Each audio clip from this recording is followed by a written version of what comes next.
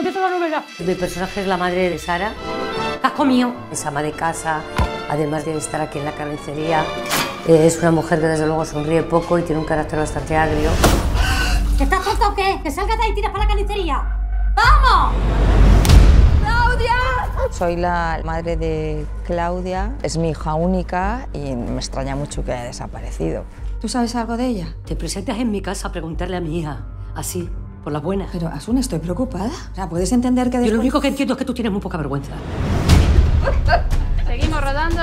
Pues sí, éramos amigas, lo que pasa es que ahora yo me he ido a vivir a la ciudad y la relación se ha enfriado y ya no, no somos tan amigas.